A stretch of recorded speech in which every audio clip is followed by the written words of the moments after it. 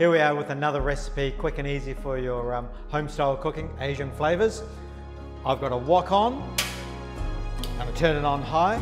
I've bought half a roast duck from the barbecue shop and look, they've chopped it up for me, which is what they will always do if you ask them.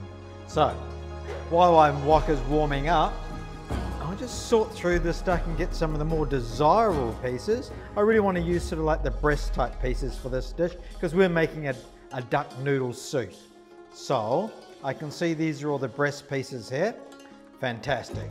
I'm going to put those straight into the wok right now. There's no oil in that wok because the duck is already quite fatty. I'll leave the drumstick out because that might be for another dish. Now, and give that a little shake around just to caramelize up a bit. We're going to create our soup at the same time. So I'm just tipping this as just straight water into my wok, along with the duck. And I'm just going to let that infuse for a moment. Wok is still on high. The vegetables that I'm going to put into my soup are some greens. So I'm going to cut these greens lengthwise. If you had broccoli, you would also try and make florets, but cut them lengthwise. If you had cauliflower, all good. If you had cucumber, you could put cucumber in here. Do the same sort of thing. Okay, I've got some choy sum. So I've just cut those into nice lengths. Yeah. I've got some shallots. I'm going to cut those shallots into little sections, about a centimetre long on the diagonal, just because it's an Asian style dish. Good. Now, my duck is simmering away in just the water that we had in there. That's going to flavour the water. I'm going to add to that flavour a touch of sesame seed oil. Not much because it's quite a strong flavour. I'm going to put in some chili this is chili and a bit of black bean. So, a quarter of a teaspoon. Give it a little stir. It's all helping build up a bit of a flavour profile. I've got some bean sprouts. And I've also cooked some egg noodles. So I just boiled those egg noodles in some water.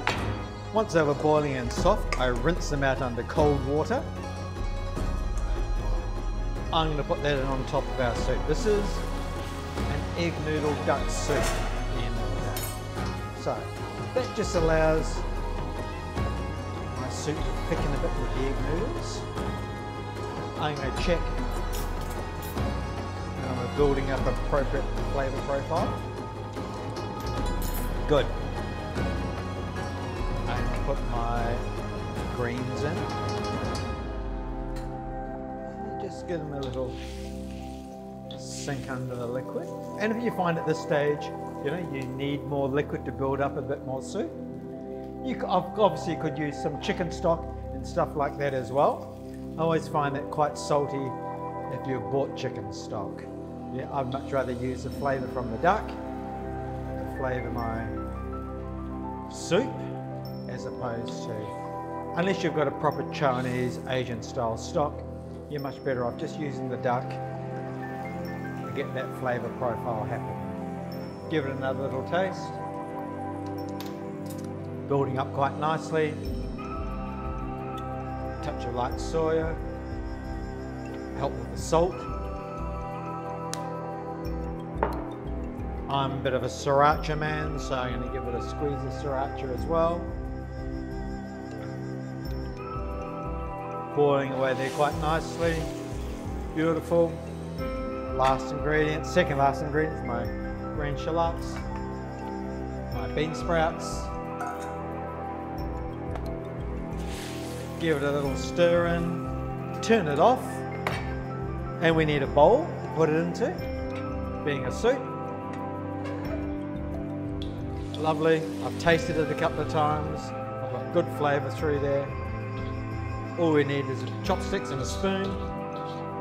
Easy, easy meal barbecued roast duck from an Asian barbecue shop. Done.